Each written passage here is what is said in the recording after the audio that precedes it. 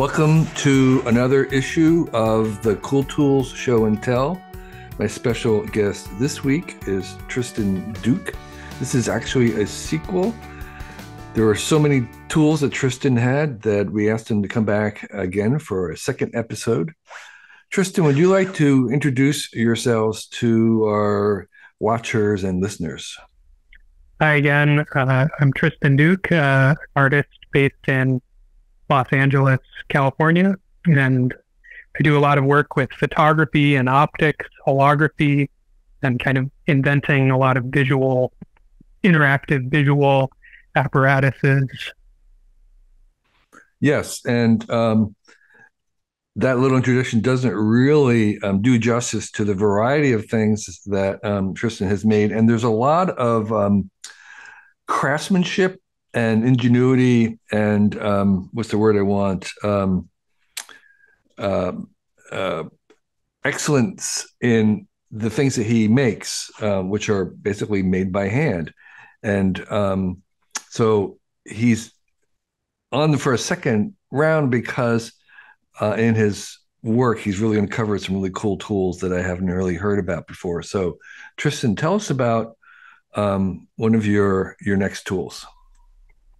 Yeah. So, um, first tool I'm going to share today is uh, this little device. Uh, I'll hold it up for the camera, and for those who are listening, I'll describe this. So, this is a it's a circle glass cutter, and um, it's basically a, a, suction cup with a little lever to kind of activate the suction cup, with uh, a compass arm and a swivel, and a cutter a diamond uh, wheel that uh, cuts glass. So the way that this thing works is you have a sheet of glass, and you would basically uh, so here's a sheet of glass, and you would basically just stick this suction cup on like this, and then pivot this around while pushing down like a regular and glass cutter. Like a re- regular glass cutter, you can take this off, and you know, just like with a regular glass cutter, you have scribed this circle, and wasn't actually going to do a demonstration here, but I guess we can kind of start to show the basic idea, and then you would basically just start pushing uh, around, and you can use um, like a towel or something, and you can basically start you start the crack and you know just like with a glass cutter you can kind of tap around it. And then you know basically you work your way around pushing this crack and it's already going. And then you can slit the the edges like that and and free up that little piece of uh, round glass. So this allows you to cut circles out of glass. And i just wanted to share it's a really simple, basic tool. Most people know about, you know, the the normal straight glass cutters, and it might be something that a lot of people just never even thought of to look for or wonder about. There's no reason that you have to be limited to cutting just straight right. lines. Um, you can right. you can do this, and it's very easy actually. Right, and the alternative is really hard. It's I mean, it's like if you don't have that, it's really tough to try yeah. to cut circle out of glass. Um, exactly. If not impossible. Um, and it and it can open up some really nice uh, possibilities. Like you know, if you're doing a project where you want to have some kind of you know customized little uh, viewing window or um, gauge window or whatever you want, uh, this tool can really come in handy. Um, this is a little outside the scope of the tool, but do you have a kind of a sense of when you would use acrylic versus glass? Because I've recently cut a piece of, of um, circles out, but I, I was I, I, took I cut them out of acrylic. Yeah, and I'm yeah. wondering now. I'm wondering I should have made it out of glass. Maybe so. So what's your what's your guidance there?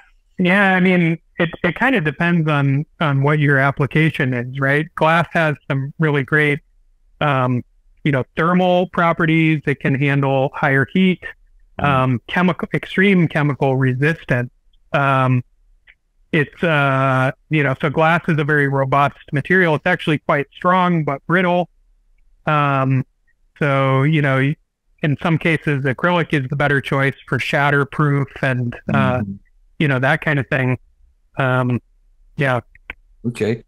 Um, so that's, uh, also, also just to say optically, I don't know about acrylic, but I know that glass actually has really good UV um, blocking, you right. know, UV filtering properties, which I don't know if acrylic uh, has that built in. Right, and, and glass is a little bit more arch- archival in terms of uh, its longevity because mm-hmm. you know acrylic is a polycarbonate which can it has it can degrade more than glass can. Yeah, it can yellow over time, yeah. and right. I think also there's a I don't know about thermal coefficients of expansion for acrylic. I would imagine that acrylic probably has uh, more uh, movement with mm-hmm. with temperature uh, expansion and contraction than glass, but yeah. Yeah. So, so these are all good to know. So um, that anyway, that's a circular glass cutter.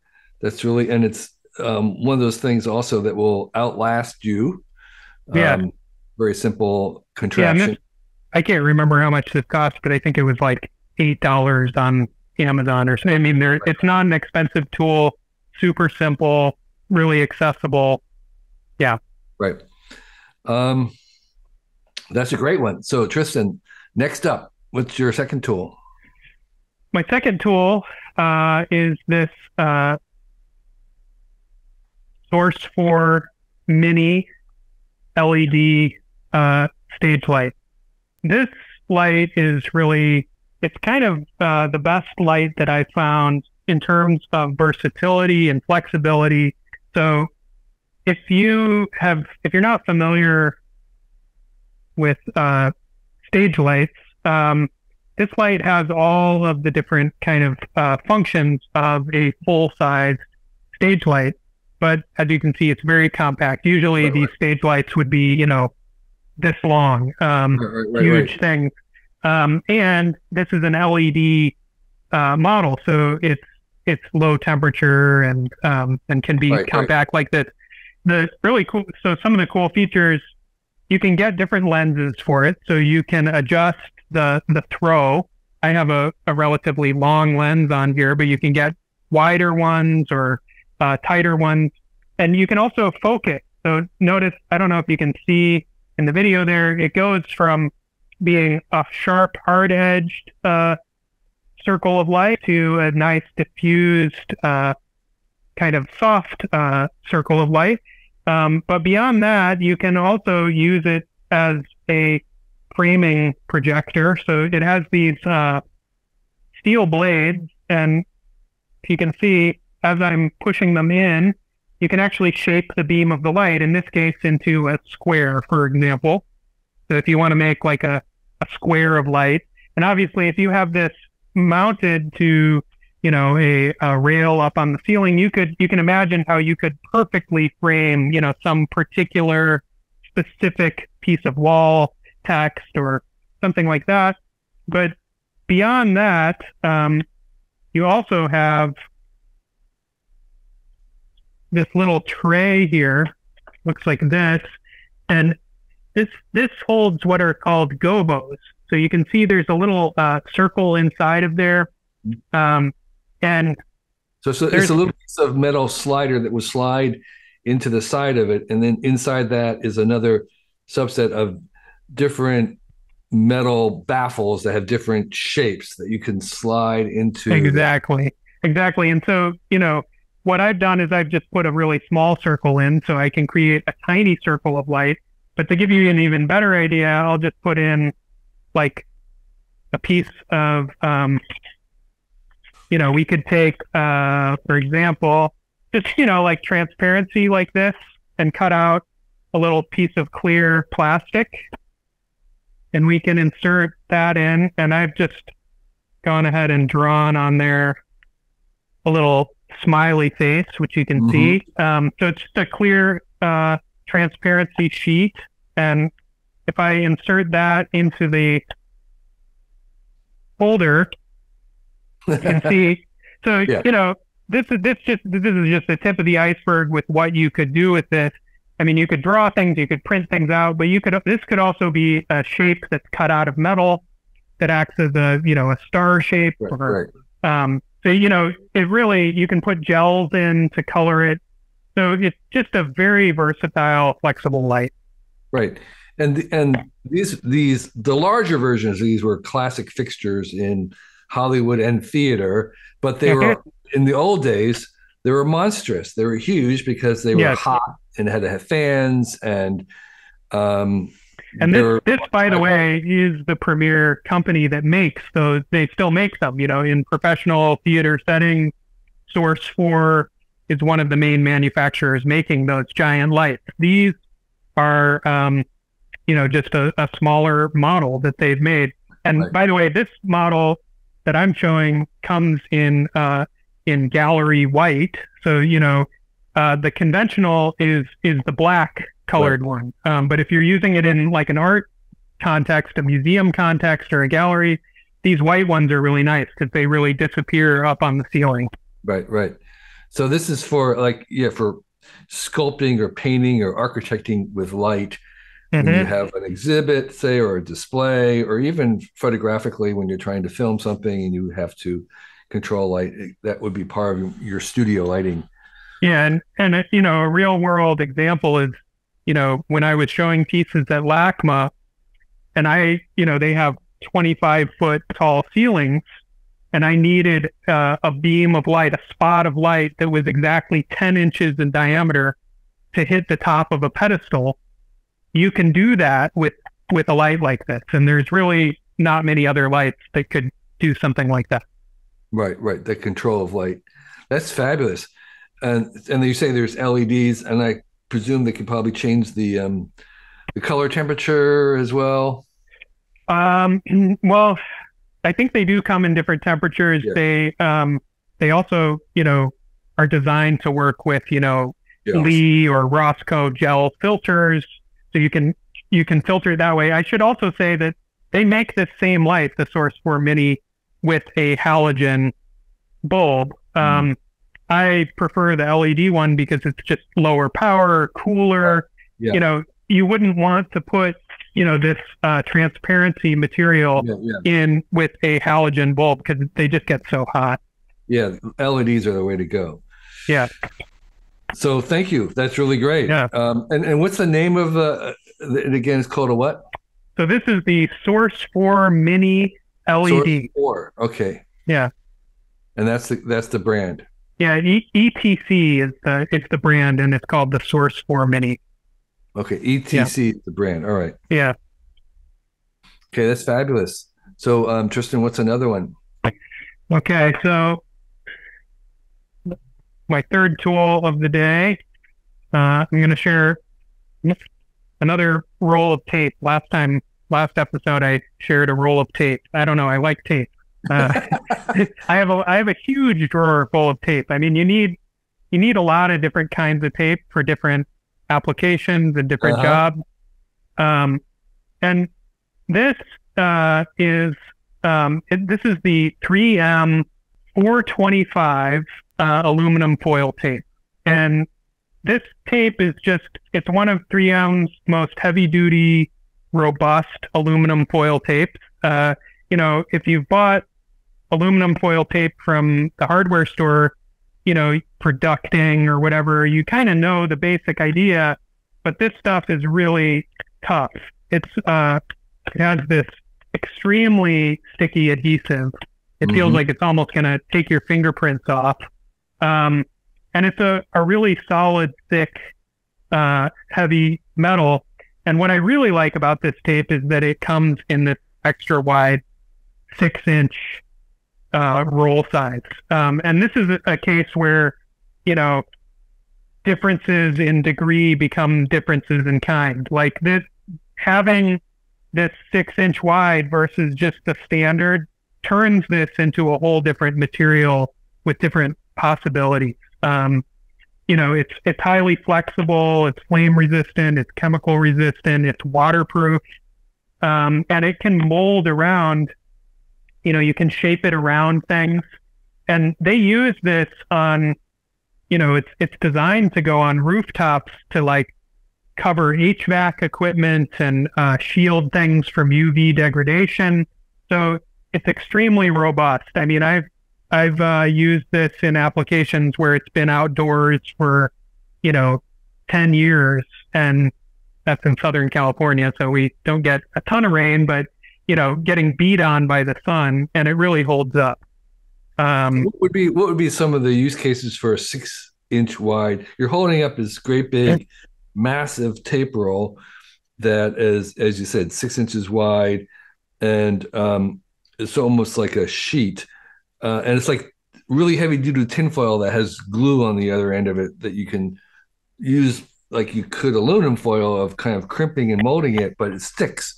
What what what are you using it for? What kinds of uh, applications? Yeah, so uh, another great, you know, course again, and people who listen to the last episode will know I'm always concerned about making things light tight. So another really great property of this unlike most any other tape you can think of, this stuff is really 100% light blocking. Just one layer and it's, you know, total blackout.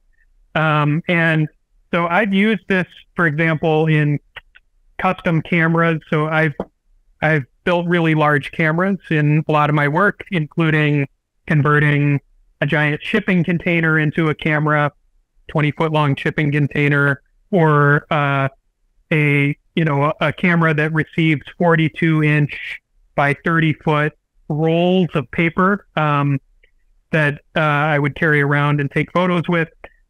So I've coated the outside of multiple cameras with this this uh, tape, and it forms this really robust, almost aluminized shell uh, that's totally light tight and waterproof and pretty robust to holding up to handling. So yes, so as as a kind of like a uh, an outer coating for both durability and for light tightness, I suppose you could also almost be structural in that sense. I was just imagining making a camera out of foam core and then covering yeah. it with it, um, and you have something that was probably pretty durable. Absolutely, yeah, yeah, absolutely. Yeah, I mean this this stuff, you know, when it's used in like ducting application, I mean it it really holds. You know, uh, when it's when you stick it onto metal, um, it can act as a real physical uh, structural hold. And is the uh, the outer surface is that just pure aluminum, or is there a plastic coat over it, or is it just? Uh, you know, I think metal? I I think it might have some, you know, almost invisible like plasticized layer. I'm not sure about that. It feels, I mean, it feels like aluminum, and the 3M spec sheets say that it's flame resistant. So, um, okay. you know, that makes me think that it maybe it is just pure aluminum on the outside. Oh, is, it, is, is, it conductive? I guess it was another way. yeah, it, it is conductive. Yeah. Um, so you know, that could be another really interesting way to use it. You can printed circuits out of it. uh, well, that's really great because I didn't know about that either. Um, um, so that is that like on Amazon, basically. I think you can get this on Amazon. Um, I I think I ordered this from Uline. Uline's okay. never the cheapest place to get things. Yeah. Um, so uh, I, yeah, I would I would check Amazon. Um, That's really great. Okay. Um, so I think we have that, that was your third one, right? Yeah. One more. Yeah. So so the the software that I'm going to share today is called uh, Grasshopper, and uh, what this is is uh, a parametric uh, modeling software. Uh, so, could you explain that? What that means? Yeah. So this takes a bit of like a paradigm shift. If you're if you've ever done any 3D modeling or you're used to working with 3D modeling, uh, you know, normally you would be, you know, selecting tools over here. So, so I should start by saying Grasshopper is embedded inside of Rhino CAD. So Rhino is a 3D CAD modeling program, and ever since uh, Rhino 6, which was the last version, Grasshopper comes native as like a platform that you can launch inside of Rhino. Okay, um, so, so, so just be clear. So you need to have Rhino to use exactly. Grasshopper. Exactly. It, if and, you and, if you and, get a subscription to Rhino or you try the free trial, um, I think they have a pretty generous free trial period. You will uh, you will automatically get Grasshopper. It's part of it now. They used to be kind of standalone. Grasshopper was like an extra plug-in for Rhino, but now mm-hmm. it's integral to the program. Okay. And so I just want to uh, go into this a little bit uh, gently because um, there are a whole bunch of um, 3D modeling softwares. There's Rhino. There's you know there's Fusion 360. There's yeah. You know there's the AutoCAD. There's Tinkercad. Where does Rhino fit into all those? Yeah, so some of those that you mentioned, like Fusion 360, is something that I use quite a bit. But um, what that's really great for is making parts um, you know, and it has what's, you know, and it has the kind of cam driver functions for being able to actually, you know, generate your G code to drive CNC machines and things like that. Rhino, my understanding is that a lot of uh, the people using Rhino are in architecture and design.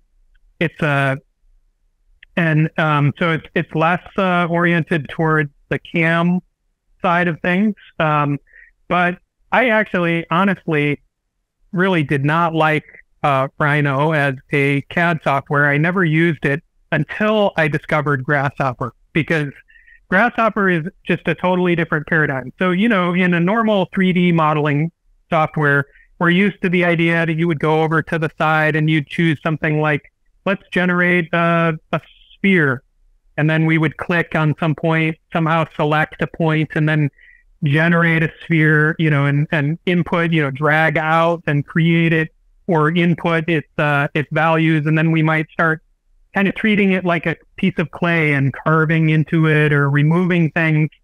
Um, and we're essentially sculpting something like we would in the real world, right? We're we're creating objects and we're combining them in different ways and we're acting upon them to sculpt something.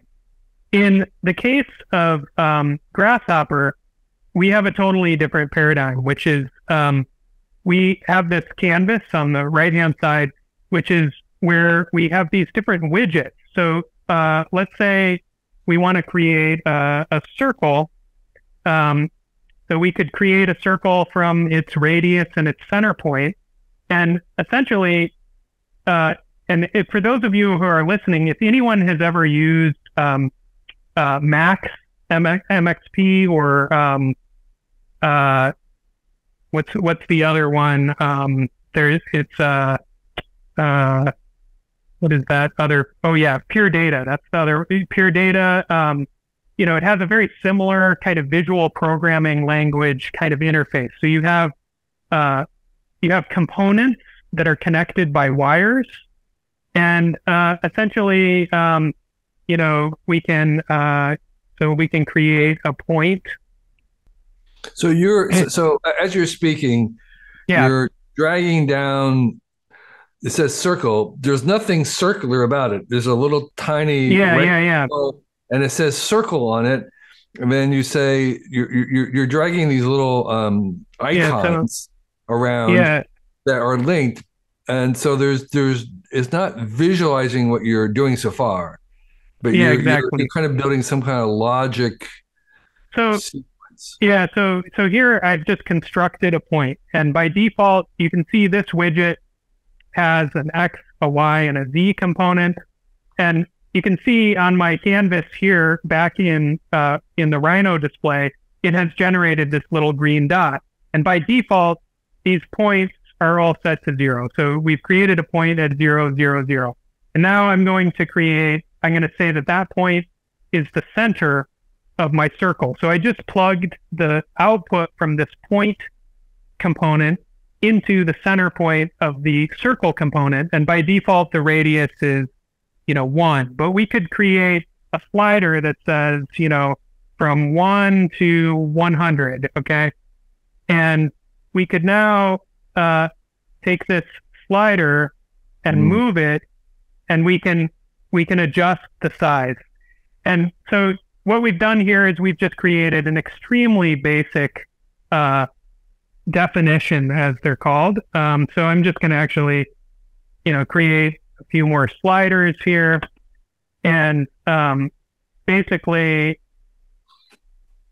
plug those into our X, Y, and Z.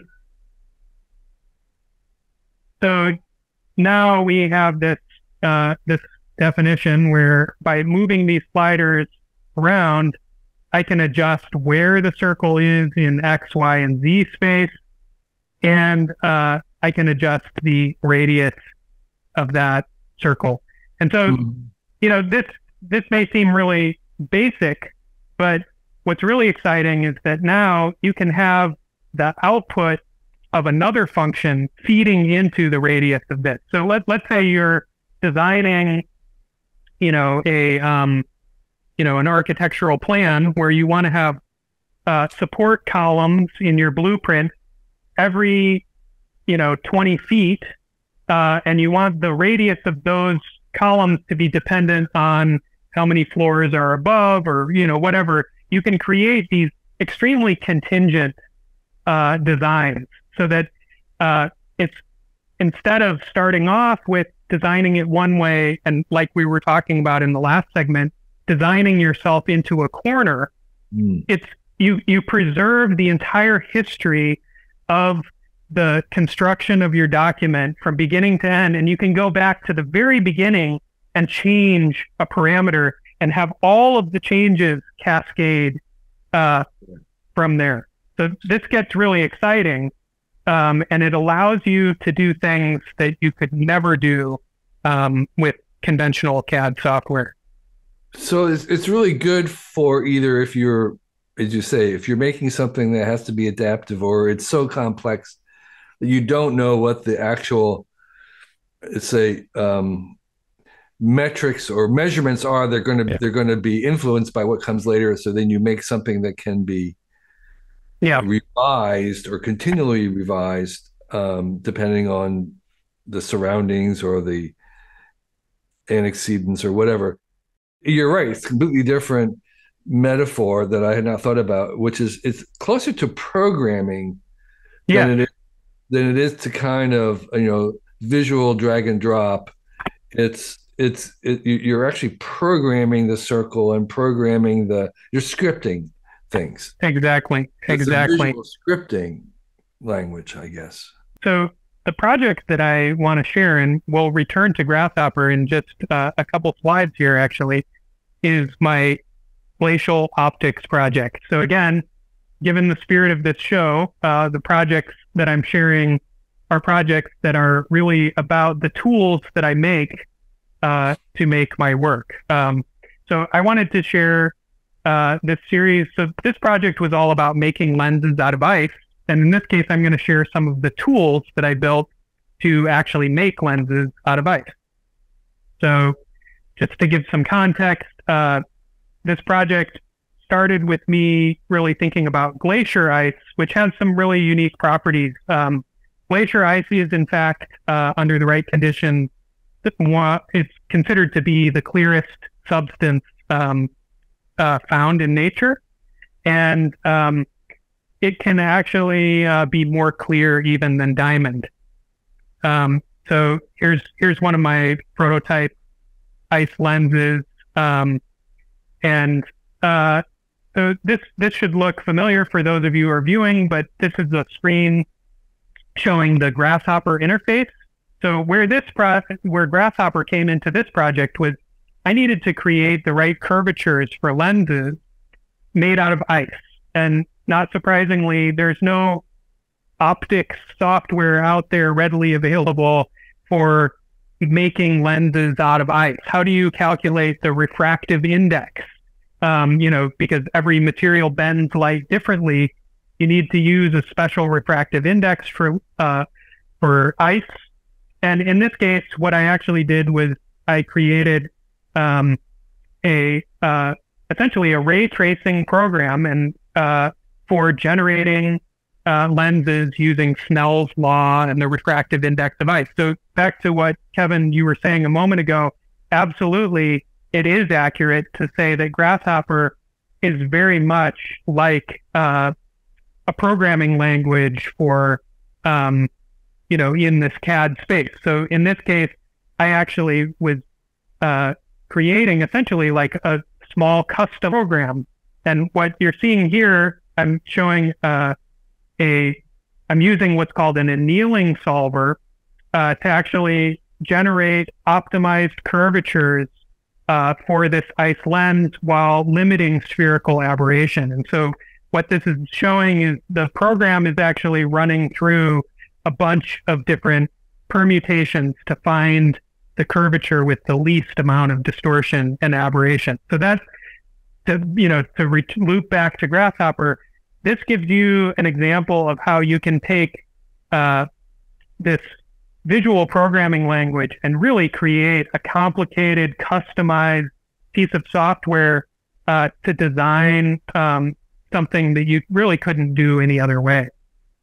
And, so, and like, one of the outputs in this case would be actually the curvature of the ice lens that you're trying to make. Exactly.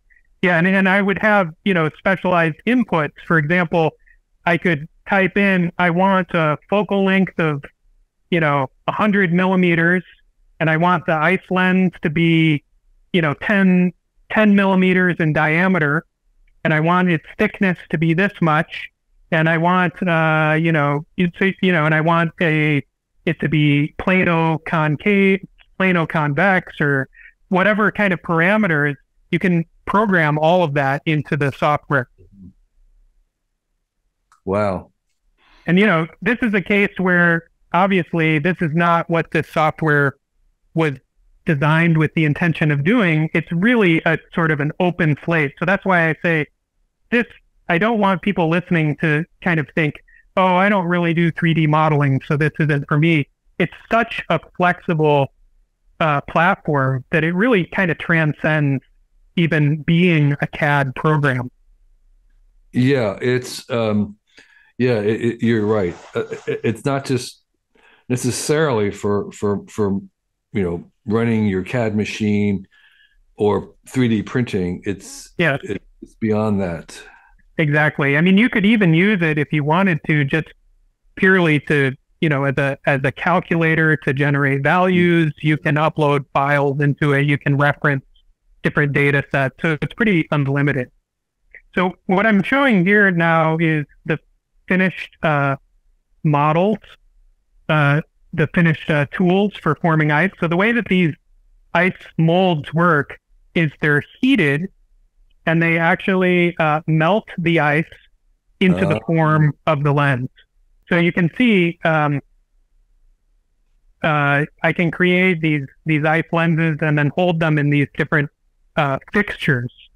Um, so here's a video showing one of the ice deformed ice lenses actually a time lapse of it melting inside yeah. one of the custom fixtures. And uh-huh. so this is like an elastic fixture, uh, very much like the way that uh, you might see like a microphone suspended uh, yeah. between uh, elastic bands right, right. to uh-huh. limit vibration. In this case, the reason for this elastic is to uh, keep the ice lens sort of uh, pinned in into the center of the optical axis, even as it melts and shrinks.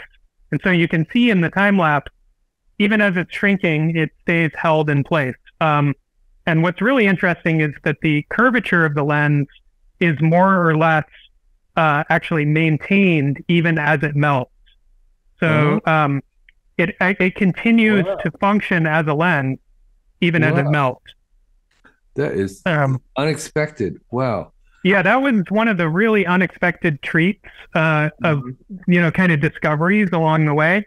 This yeah. is a uh, more updated uh, lens holding fixture, and this is kind of a, a, a, further development of that elastic idea. But in this case, it's a a spiral of elastic. It's essentially a tube of elastic that if you twist this fixture, the the uh, the it's kind of a nylon, almost like a nylon stocking type material that uh, as you twist the fixture, it clamps around the lens Yeah, and really actually, uh, you know, blocks light from coming around the lens, but still continues to hold it clamped in uh, the optical axis as it melts. And, and does, it does it self adjust as it's melting? Yeah, so so the yeah exactly. It it just Wow. continues to cinch down around the lens, Wow, that it is so clever. That is and really, uh, so the the the video that I just showed here um, is the large camera that I had built for uh, my trip to the Arctic. Um, so here it you can see I wanted to build something on a really large scale to kind of capture the scale of the glaciers. So the whole idea of the project was to try to take a portrait of the glacier through a lens made of its own ice. Um, and so this camera, it's a it's a tent camera that is uh it's a four uh, uh four foot by eight foot footprint. Um, and I actually go inside of the camera to operate it. And this camera actually um, it uh, it receives a um, a close to four foot by eight foot negative. So actually, the photo behind me in my studio that's a contact print. This is the actual size of the negative. Um, and here here I was testing my uh, camera to kind of see how many air bubbles I could get away with uh, being in the ice and still get an image. Um, and what would so you it- use this film or the sensor? So in this case, I'm actually using a uh, a paper negative. So it's uh it's photo paper, very much like the photo Okay. paper that you would make prints out of. Right. Um, so I have huge rolls uh, of photo paper that I carried with me to the Arctic. Um, this is the ship that I sailed on. Um, so like they would be like 36 inches wide or something. They're uh, 42 inches wide uh, by about eight feet, you know, 42 tall, eight feet wide. Um, and Okay. um, so last uh, April, I basically went sailing to the Arctic uh, in search of totally clear glacier ice, which I found. Um, and this was a real long shot because I didn't know if I would actually find ice clear enough to make my lenses out of. But uh, just to give you a sense of kind of the environment that we were in, um, you know, kind of sailing through these just like uh, glacial, frozen environments. Um, and, you know, this here, here we're scooping. This is actually a piece of berglet, a little piece of totally clear ice which I'm going to form into an ice lens using my tools. And again, these work by heating and melting. So I'm using hot water in that bath to kind of heat up the metal molds and then form and then snapping it into the fixture. And isn't that beautiful? You can see here some of the kind of cloudiness of just kind of natural impurities in the ice. Um, Cool. Yeah. So we're, we're, what they're what you're showing is um, your big aperture, cloth aperture, that's holding this ice, and there's a kind of a silver square cube. It's not cube, but it's like a box, like a tissue box yeah. shape um, that's standing up. That's made out of silver material, and Yeah. uh, you were Yeah. grabbing. And, and and that's the tent that's the tent camera and um you know this is kind of in the tradition of the uh camera obscura so you know you see the live image you know actually recorded inside of the tent um And, so would be- um, and when you develop a paper, you get a negative. exactly and then i contact print that that negative to actually create positives back in my studio so um you know You normally contact you print- have a you, contact print it on another piece of uh, photo paper. Exactly. And normally you would have a small negative of some sort, you know, Mhm. uh, 35 millimeter or something like that. And um, you would, you know, use an enlarger to enlarge the print. In this case, no enlargement is necessary. Right, Uh, you just uh, contact print it directly right, right. uh, onto the um, onto Right. the, the the print paper. So the the, the first print acts as the negative, film Yeah. negative. When, when I was in Afghanistan, they um, the local street photographers used a similar method with their homemade view cameras, where they um, they would use paper as the negative, Exactly. which they could um, develop right there in a little light-proof box with with their their hands, and then they would take that while it was still wet and use that to make a contact print Yeah. of of and, and hand to you. Um, so it was all done right on the street with photo paper. Exactly. That's very similar to what I'm doing. And as you noted before, this is actually uh, one of the finished prints. Um, so you're you're pointing to a very large mural on the back wall. It has it's a view of glaciers, a little bit kind of vignetted with dark um, areas on the side, um, and lots of snow and ice. yeah, yeah. So again, the basic idea was to try, try to create a portrait of the glacier, you know, through its own eyes, basically. through his own Yeah. eyes. Okay. Very nice.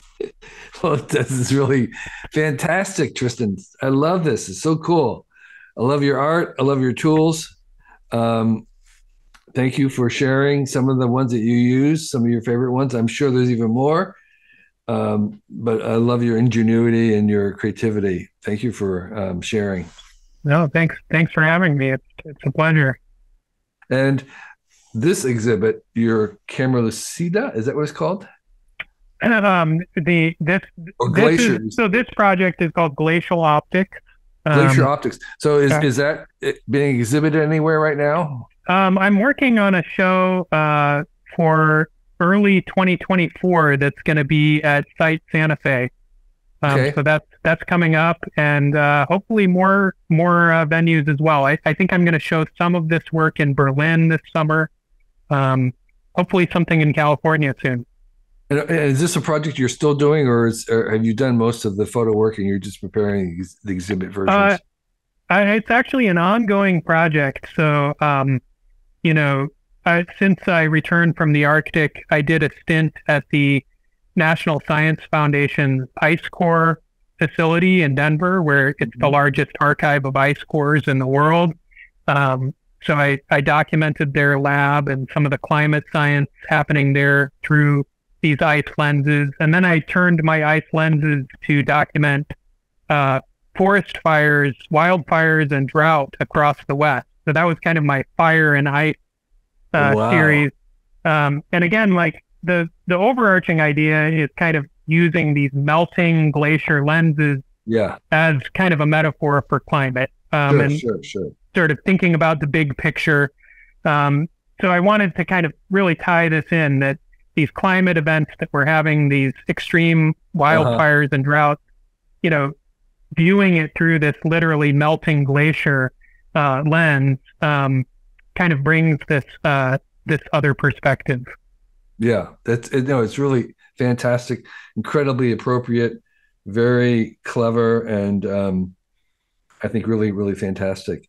Um, I'm not sure if you are, are the kind of artist who likes to share about what you're working on next or what's after this, but um, if you have something to say about that, um, Yeah, sure. where do you go Uh, from here? Yeah, the well, the next horizons, I I have my sights set on um, Antarctica. It's a little hard to get down there, but I would love to do something with the Antarctica, and um, also um, uh, I want to uh, do something about California glaciers. Wow, does California have glaciers? Yes, and they're they're melting really rapidly. Sorry, the Okay. timer.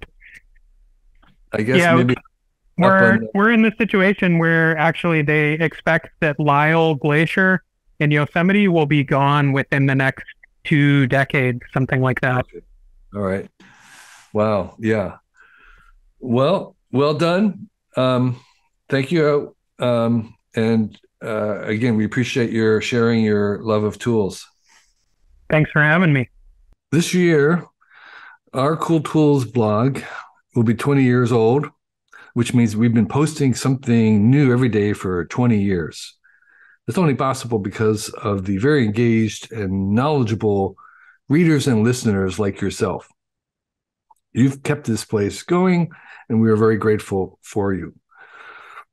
With this idea of 20 years in mind, um, we decided to try an experiment this year. And I'm inviting our guests and listeners to join me on our Cool Tool Show and Tell, which is the program that you're listening to right now.